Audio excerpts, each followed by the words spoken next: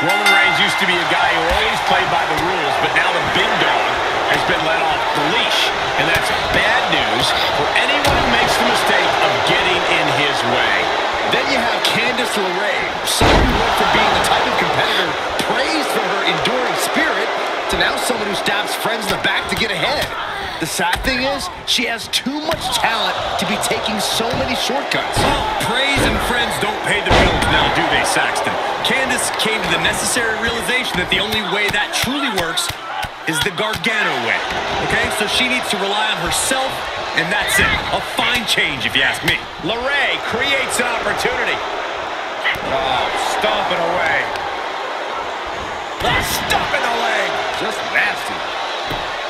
What headspace does Roman Reigns need to be in if he wants to grab a win in this matchup, Corey? Roman needs to flip that switch in his head and go into overdrive as soon as possible.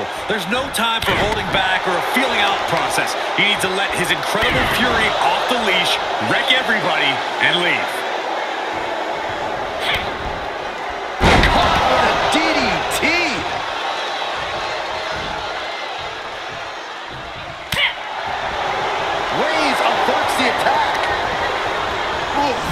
Corner hard. Reigns comes up short on that attack. Elbow smash. Kick to the gut. She's taking some big hits here. She still has a lot of time to recover. She's got the shoulders down. And the shoulders up. Premature to try to end things now. And now she's looking to go top rope. Here we go. Splash!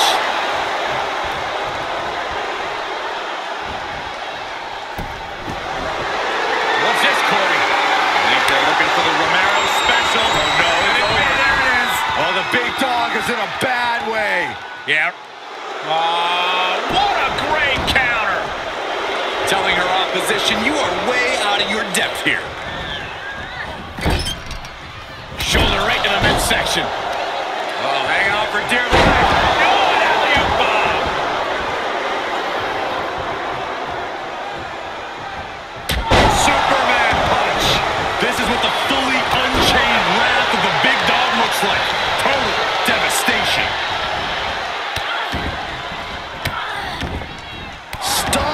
After stomp.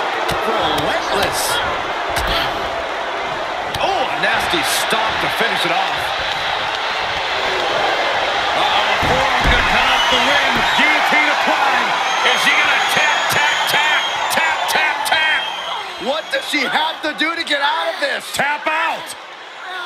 Not sure why, but she releases the hold. And this is gotta be it!